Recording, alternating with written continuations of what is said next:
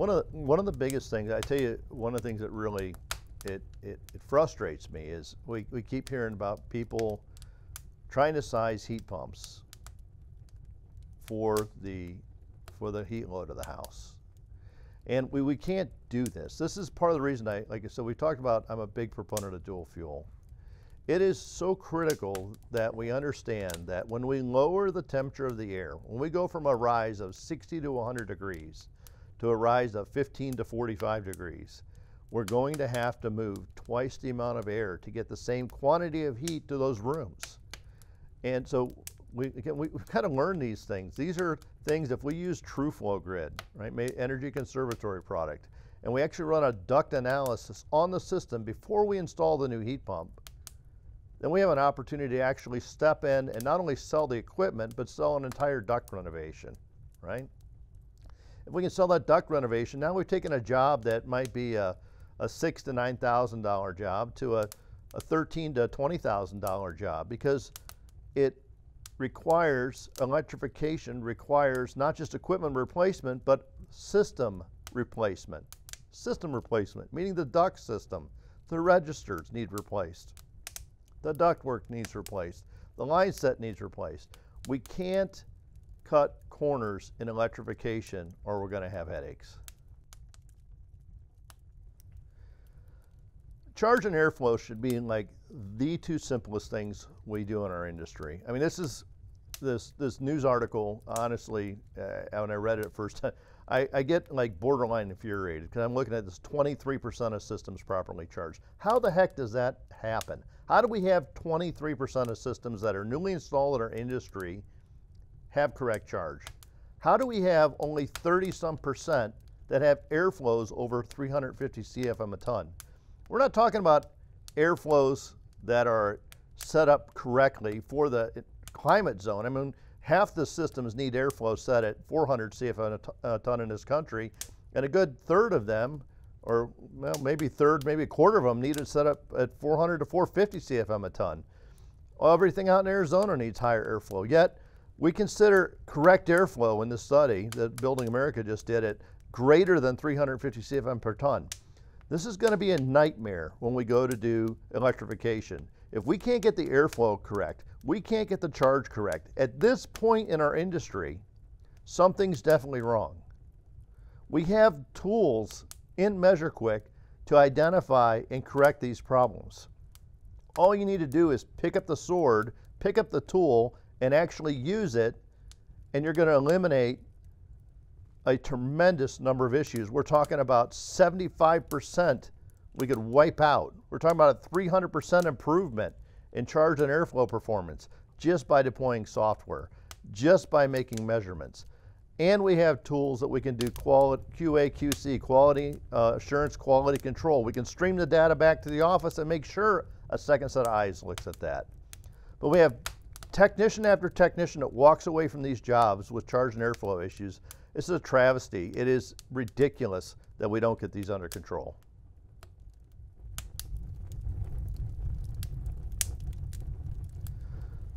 One of the most exciting things we're, we're getting ready to roll out this year is quality installation with ACCA. And quality installation is, it's been around for 20 years, yet nobody seems to have uh, grabbed the flag and run across the field with it because quality installation, to be quite frank, was just a, a, paperwork nightmare.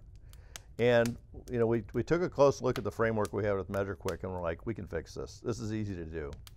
And in conjunction with our guided workflows, we've actually made provisions now for all the data for quality installation to be entered on MeasureQuick Cloud.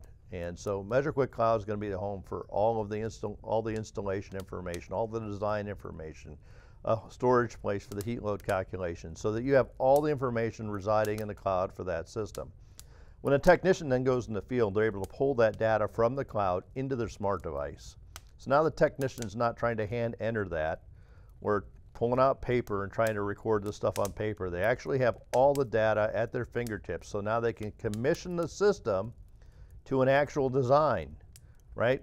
Quality installation starts with quality design. It starts with a heat load calculation, right? And then we do an equipment selection, and then we design the ductwork, and then we commission the system to make sure that all those elements work the way that they're designed. There's a lot of myths in the HVAC industry, and, and I, I tell you, it, it, it, kills me some of the things that, that I see, and uh, probably the, probably the biggest one is, is refrigerant charge needs checked annually. I mean, there's companies that literally go out and check it quarterly. This is absolutely ridiculous. It's it is one of the worst practices that we've ever ever done in our in our in our trade. I mean, it is it to me it's the equivalent of heroin users sharing needles. We go up and we hook up a gauge set to one system and then we don't purge that refrigerant out. God knows what's in it and we connect it up to another system and we wonder why we have cross contamination of systems. Well, we're taking blood from one and putting it in another. And then we're poking holes in systems by hooking up gauges that we don't even need to poke holes into because the refrigerant charge is totally fine. Like going to your doctor and every time they do exploratory surgery because they want to know, oh, what's it look like inside there? I can hear the heart beating, but we know we need to check it on gauges, make sure we can actually see it's beating to make sure it's working right. It's just, it's stupid we can, once we set up a system charge correctly and we get a couple pieces of information, we can check the system completely with just temperature testing. And this is the way that we should be working our industry. And you go, well, how can you do that? Nobody's ever told me, taught me that before. Well, they've been teaching us in the refrigeration industry and the PTAC industry forever. PTAC units do not have port pressure ports to even check the charge. They're a sealed system. They want to keep them sealed. Your refrigerator at home is a sealed system. We want to keep it sealed. Guess what? Your air conditioner is exactly the same. It's a sealed system. We want to keep it sealed. It's a matter of making sure that once we get that charge correct, we put locking caps on there and we don't check it again that way.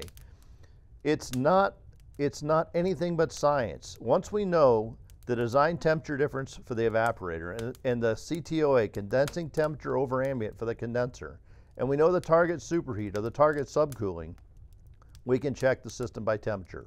There's no need to hook up gauges again. In fact, there's only two times gauges should ever be hooked to the system.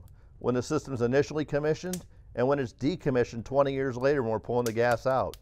You don't check the charge in your refrigerator. You don't check the charge on any other appliance in your house, your dehumidifier, whatever else you have, because it don't, you don't need to. And you know it. Yet you continually do this on air conditioning systems. So before you hook up your gauges next time, I want you to stop and think. And all you need to think is this. Deploy MeasureQuick. Use some technology because you don't have to learn all this stuff. You just have to hook up the software benchmark the system and leverage the power of technology.